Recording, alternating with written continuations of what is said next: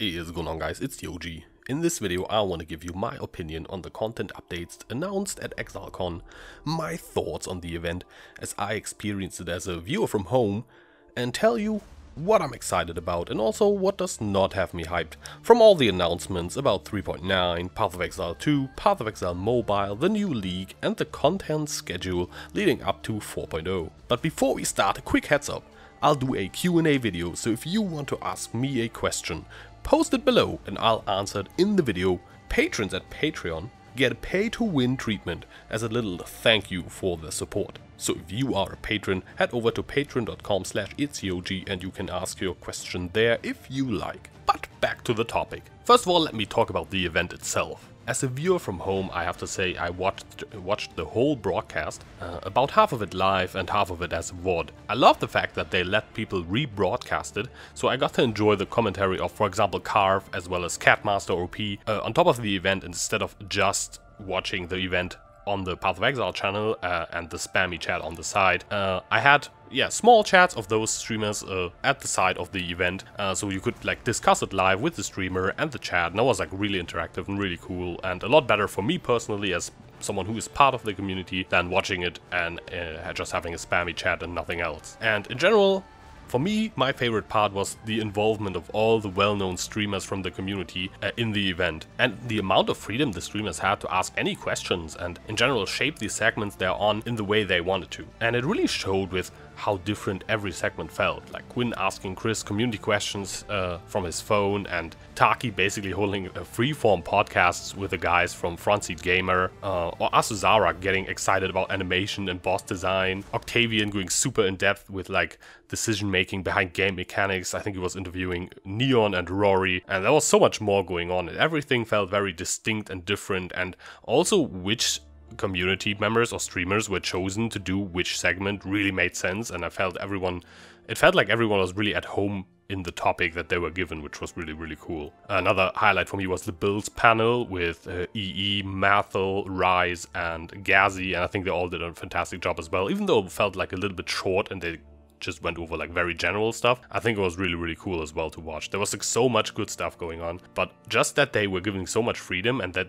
the whole event was kind of like made and shaped together with the streamers, so basically with people coming from the community, I think was really awesome. And giving streamers this much freedom and agency to create basically what is their own content within an uh, official Path, Path of Exile event was a huge risk for uh, GGG if you think about it, and also with that an immense show of respect and trust into like in the community and the content creators of the community, the content creators community that has formed around their game over the years. And that was like a really awesome way to basically give back to all those people and to the community itself. And in my opinion, that was a risk that really, really did pay off big time. This made the event feel very genuine, authentic, and it really showed that GGG are very confident in their product as well, and confident in the upcoming PoE content that they are willing to answer any questions without preparation live on a huge stream in front of hundreds of thousands of people. They, they nailed it in my opinion. There was just no script, just developers being genuinely excited and passionate about the game they created and the game they keep working on. And even the scripted parts, like the presentations, uh, they did feel very different from what I'm used to from uh, other video game press conferences, uh, conventions, etc. Because it didn't feel as as staged. It felt, felt it felt like a real event with like real emotions. And even with some of the clumsy moments and some of the awkwardness that maybe resulted from uh, the more unhonest and unscripted nature of the event, I prefer it over other gaming events I've seen in the past. Because honestly, I've long since stopped watching stuff like E3, BlizzCon and the like. They real feel really like sanitized and more like well choreographed commercials. And the sanitized feel of those events and the intent uh, intent of just making the product seem as good as possible, and most of the time making it seem better than it actually is, and trying to trick the audience into not seeing like the, the weak points or the unfinished parts. At this point just annoys me because it kind of shows lack of respect for your audience, for your customers, and for your community, in my opinion. And I, in my opinion, GGG did not show that. GGG managed to do none of that and simply killed it with being passionate about their game And if there were questions that they either could not answer, or things that were not decided yet, or things that they were themselves not sure about how it would work out, they simply said, hey, we are still trying to figure that out and we'll get to you as soon as we know. I think that honestly goes a long way compared to like just trying to hide, cover up the like potential weak points or unfinished details of your game, which a lot of other devs have tried to do in the past. And when Chris was like struggling to keep his calm during the keynote presentation, that was one of the best moments in Ex of ExileCon for me personally. Seeing Chris and all, also all the other devs throughout the event being just as hyped about the reveal as us long-term players watching were. That, that honestly meant the world to me. Seeing that the, those people who make the game are as passionate about the game as us people playing the game are, or maybe even more, that you, you can't replace that. That was one of the, the best, if not the best moment uh, of ExileCon for me. So to me, even though I sadly could not find the time to fly out to New Zealand myself, ExileCon was an amazing event and a huge success, even watching it from home and one of the best gaming related events that I've so far uh, watched or yeah, seen myself. But enough about the event, let's move on to the actual content that was revealed. The three things that were presented at the convention were the 4.0 patch, also known as Path of Exile 2, the 3.9 content update Conquerors of the Atlas, as well as the accompanying uh, Metamorph League and Path of Exile Mobile. I'll start with Path of Exile 2 because that's kind of like the biggest thing, right? A whole new 7-act campaign, completely reworked item-based progression, and full new set of ascendancies, a visual overhaul, gem system overhaul, a lot of stuff happening, right? So the visual overhaul and the ca campaign, I'm not too excited about. Honestly, it's nice when the game looks better and uh, a campaign will be fun to play through for a while, but that stuff simply isn't why I personally play PoE. But, and this is a big juicy but, uh, I believe this will be great for the game's growth and draw in tons of new players, tons of attention and help the game grow. And it might also bring bring back a lot of old uh, players who, who just like kind of get uh, bored by the game or the game started to feel a bit stale to them. So they might be like, oh, I might check it out again. Maybe they get hooked again and play for a while. That would be nice, right? So I think that's a great chance for the game to grow an enormous amount. Plus, it isn't like I mind uh, the game looking and feeling more smooth to play. Like, honestly, if the game looks more awesome and better, uh, that's great. And a new campaign will make the game feel more fresh uh, for a while at least. But that's not the part I'm hyped about. Now the skill gem system and the item base overhaul, as well as like ton of, tons of new ascendancy classes, basically like, like a whole new set, that's something that gets me really excited. Uh, it's really difficult to tell what impact on the metagame uh, all that stuff will have, but uh, especially the gem system, but build making as well as like item balance and then yeah, how, how we will implement skills into our builds and also of course ascendancy class choices. It will basically change completely how we make builds I feel and that's like a really excited thing to look forward to as someone who enjoys the game game's progression systems, the game's endgame progression as well as like just trying out making interesting and new builds that I haven't experienced before, because it probably introduces like 15 bazillion new potential builds with just one patch. That's pretty cool, right? So yeah, that's what, what I'm personally looking forward to a lot, just exploring this system once 4.0 hits. So for the new Ascendancy classes, right now we don't know much about them, but the sheer amount of them will break open the meta for sure, and it will take people a few patches to really try out and compare all the different new options for builds. And I hope this will result in a lot of new and fun playstyles, like the shapeshifting that look like it could be ex extremely fun and feel very different from anything we have had in PoE or currently have in PoE. And if you add on top of that like new item-based progression, um, we might actually be looking at something that does feel like a totally different game, right? And that's kind of like where the name Path of Exile 2 starts making sense. And I think the, the whole different game vibe could also be in a good way, right? I mean, currently I love PoE how it is currently, but I think the result from the Path of Exile 2 patch or the 4.0 expansion will still be close enough to current PoE, but with so much fresh air that it might actually feel a lot like a new game. I think that's actually a pretty bold move by GGG to bring that much change all at once to the game, but I'm all for it. I think it could be really, really cool. So currently I'm very optimistic that this will be a good change for Path of Exile and a great chance. But it could also go horribly wrong for balancing. So let, us keep our fingers crossed, alright? Next up, I got uh, of Mobile on my uh, little list here. To be clear up front, I don't play any games on my phone currently. None. absolutely no games on my phone, and I don't think I'd have much time to play any games on my phone during the, my day, even if I had a game that I really enjoyed, such as Path of Exile on my phone. So I'm clearly not the target audience for a mobile game, but with that in mind, I do think uh, it is cool that GG are trying to explore new ways to get Path of Exile out to people. Am I excited for a game that I probably won't play much myself?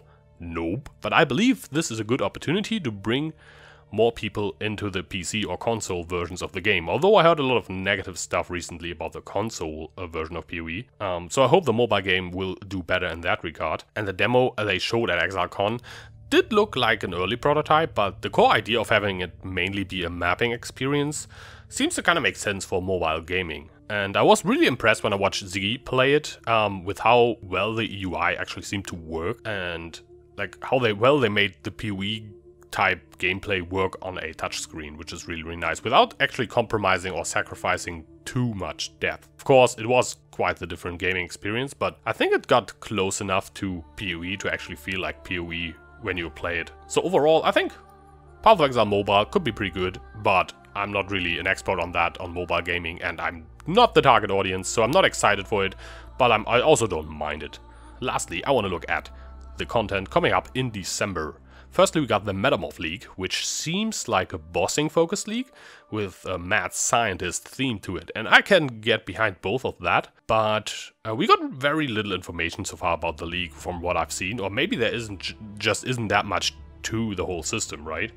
Um, I like that we'll get a bossing focus league for once. Um, Legion and Blight were both both mostly clearing focused, so it is nice to have a bit more of a, a single target focus, if you will. Now, of course, as with all boss content, uh, it really comes down to how fun the boss fights themselves are, how well designed they are, and how well they nail the risk versus reward or the investment or time investment versus reward for the boss fights to see if it's actually like fun doing, worth doing, and doesn't get boring or annoying too quickly, which I can definitely see in a league where you have just like a set of bosses that you fight over and over. I'm kind of skeptical that the league will be super great, but I think it has potential and maybe it is a lot better than I expected.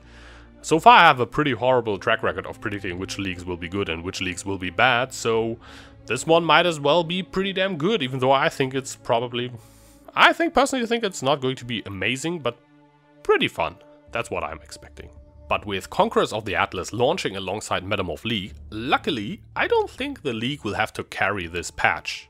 For long-term players, the main selling point of this expansion will be the major endgame overhaul it brings. And oh boy, am I happy? To hear, we got new endgame bosses to strive towards beating, having Uber Elder as the ultimate goal to fight for so many patches now, and Shaper being kind of a joke at this stage, I'm pretty happy to get something new to try my endgame characters against, and with 5 new bosses to learn the mechanics of, that sounds really nice. As I understand it, the Conquerors will work somewhat like the Elder mechanic, where you will fight them in earlier tiers as well as higher tiers to progress through the, through the Atlas and get your socketable stones to put into the Atlas.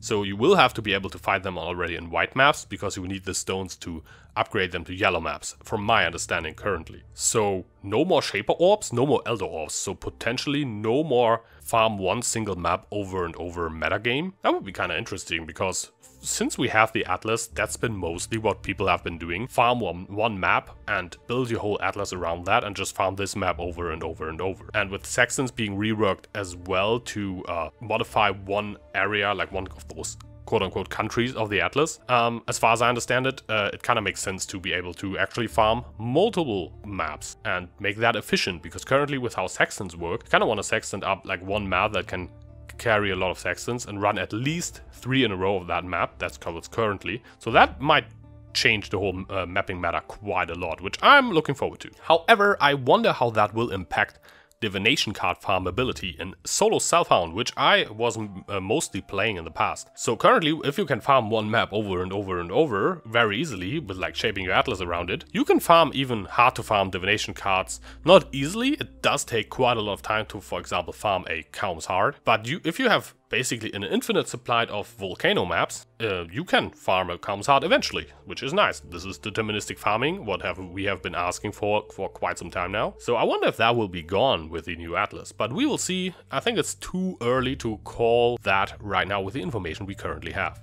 But overall, I'm looking forward to a different progression scheme in the endgame mapping system, and of course, new bosses, as I said. So with Shaper and Elder touched items gone, as well as their, their unique drops probably becoming extremely rare now with the Guardians, uh, Guardian maps being locked behind Zana quests. I think the metagame overall, like the, the build metagame, will change quite a bit. And at the same time, they will introduce new Conqueror touched items and even Conqueror specific currency for crafting. And that could enable, of course, a new set of builds, while the old meta is kind of more difficult to get to, with Elden Shaper bases being a lot more rare, right? So I'm actually hyped for like a big meta shift that is not as enforced as uh, the last meta shifts. Also, it of course remains to be seen what the new mods on the Con Conqueror specific Conqueror touched items will be. So maybe some of the Elder and Shaper mods will be reused into those, so some of the builds still stay available. We don't know that yet. But yeah, 3.9 overall has me really excited. So to sum up my personal feelings of the announcements in really short terms,